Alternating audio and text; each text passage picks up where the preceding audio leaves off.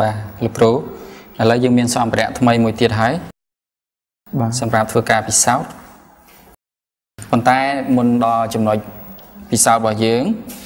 ខ្ញុំចង់សួរថានៅរដូវរំហើយខ្មែរយើង តែងតែបង្ហោះនៅខ្លែងឯកមិនអញ្ចឹងណាបាទបាទតើឯកហ្នឹងគេធ្វើពីអ្វីបានជាអាចបន្លឺសូរបាន បាទខ្លាញ់ឯកបាទឯកដែលគេយកមកដាក់នៅមុខខាងខ្លាញ់អាមុខខ្លាញ់ហ្នឹងខ្ញុំឃើញគេធ្វើពីបន្ទះ អង្គធាតុដែលស្ដើងហើយអាចបត់បែនបានបាទបាទបាទនៅពេលណាដែលយើងឲ្យវាប៉ះជាមួយនឹងអង្គធាតុដែលអាច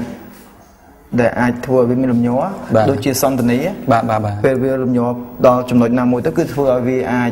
អាចបន្បន្លឺសម្លេងឡើងបាទបាទខ្ញុំយល់អញ្ចឹងបាទគឺនៅពេលដែលវាប៉ះជាមួយខ្យល់វាអាចបន្លឺសូរបានបាទបាទចាឥឡូវយើងសាកពិសោធន៍ទៅលើឧបករណ៍របស់យើងយើងធ្វើអំពីបន្ទះឈើហើយចោះរុនចងភ្ជាប់ជាមួយខ្សែអំបោះនេះបាទបាទ ឬយើងអាចយកបន្ទះដៃក៏បានដែរបាទបាទបាទអញ្ចឹងសាកក្រវីមើលតាមទឹកដេកបាទគវិតាមទឹកដេកបាទក្រវីតាមទឹកដេក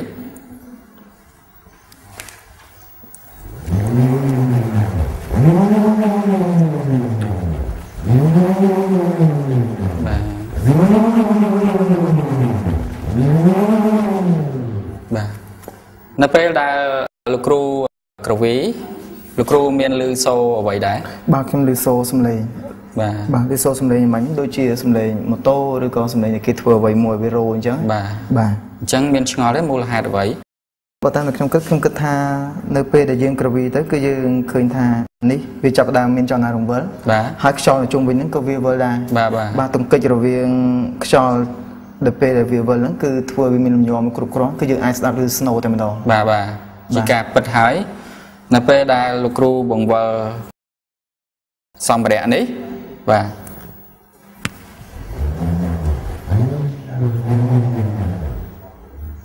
បាទអញ្ចឹងនៅពេលដែលក្រវីគឺបន្ទះក្តារនេះវិលចាប់ដើមវិលបាទអញ្ចឹងទៅទង្គិចជាមួយនឹងមូលគីខ្យល់នៅជុំវិញហ្នឹងបាទបាទអញ្ចឹងធ្វើឲ្យមូលគីខ្យល់ហ្នឹងគឺវាញ័ររហូតទៅដល់មានហ្វ្រេកង់មួយគ្រប់គ្រាន់វា